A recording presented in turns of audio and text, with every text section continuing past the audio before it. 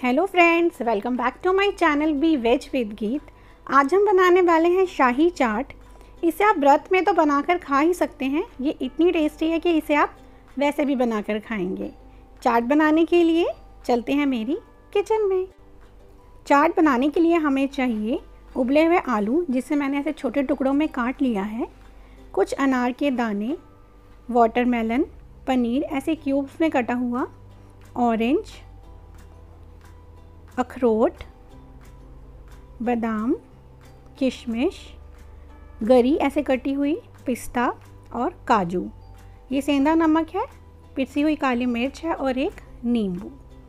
आप फ्रूट्स में कुछ भी ले सकते हैं, कीवी, पाइनएप्पल, जो भी आपको पसंद हो आप ले सकते हैं और ड्राई फ्रूट में भी आप मूंगफली भी ले सकते हैं या जो आपको पसंद हो वो आप ले सकते हैं। अब हम लेंगे कढ़ाई, उसमें लेंगे हम एक चम्मच देसी घी उसमें डालेंगे हम पहले बादाम। फ्लेम हमें बिल्कुल स्लो रखनी है, हाई नहीं करनी। स्लो फ्लेम पर ही इन्हें हमें भूनना है। अब हम इसमें डाल देंगे काजू, पिस्ता,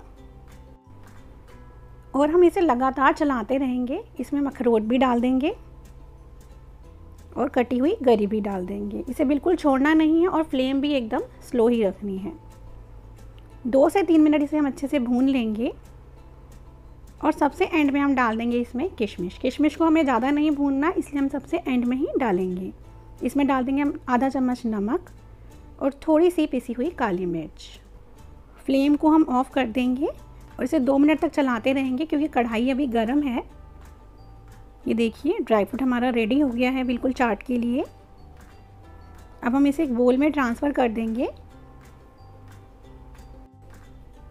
अब उसी कढ़ाई में हम थोड़ा घी डालेंगे, उसे मीडियम फ्लेम पर गर्म कर लेंगे और जो आलू लिए थे बॉईल किए हुए और कट किए हुए, वो हम इसमें डाल देंगे। इसे अलट पलट कर अच्छे से हम फ्राई कर लेंगे। देखिए, आलू फ्राई हो गए, हम इसे निकाल लेंगे और पनीर को भी हम इसी तरीके से फ्राई कर लेंगे। देखिए, पनीर भी फ्राई हो गया है, इसे भी हम प्लेट में निकाल लेते हैं।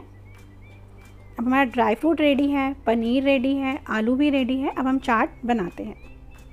अब हम लेंगे एक बोल उसमें डालेंगे कटा हुआ एप्पल कटे हुए बनाना कटा हुआ वाटरमेलन थोड़ा सा ऑरेंज थोड़े अनार के दाने, और जो हमने पनीर फ्राई किया था वो भी हम इसमें डाल देंगे, और जो हमने आलू फ्राई किए थे वो भी हम इसमें डाल देंगे।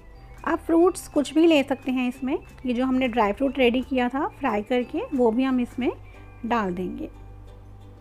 ये देखिए ड्राई फ्रूट जो हमने रेडी किया था, इसे आप स्टोर करके भी रख सकते हैं कि जब भी चाट बनानी हो, आप ऊपर से इसे डाल लें। ये ख़राब नहीं होता, क्योंकि हमने इसे फ्राई कर लिया है अच्छे से। इसमें हम डाल देंगे थोड़ा सा सेंधा नमक और थोड़ी सी डालेंगे हम इसमें कुटी हुई काली मिर्च। आप इसे अगर बिना व्रत के लिए बना रहे हैं तो आप इसमें चाट मसाला भी डाल सकते हैं। इसमें डाल देंगे हम आधा नींबू का रस और हम इसे अच्छे से मिक्स कर लेंगे। आप इसमें ड्राई फ्रूट कम भी डाल सकते हैं, ज़्यादा भी डाल सकते हैं, फ्रूट्स भी अपनी मर्ज़ी से कुछ भी डाल सकते हैं। ये आपके टेस्ट पर डिपेंड करता है। वैसे इसमें कीवी भी बहुत अच्छी लगती है। ये देखिए। हमारी फ्रूट चाट रेडी है। हम इसे सर्व करने के लिए एक टूथपिक लेंगे और उसमें हम इस तरीके से फ्रूट्स को ऑर्गेनाइज़ कर देंगे। तो ये देखने में भी बहुत अच्छी लगती है और खाने में भी इजी हो जाता है इसे। ये देखिए फ्रूट चाट देखने में कितनी प्यारी लग रही है ऐसे।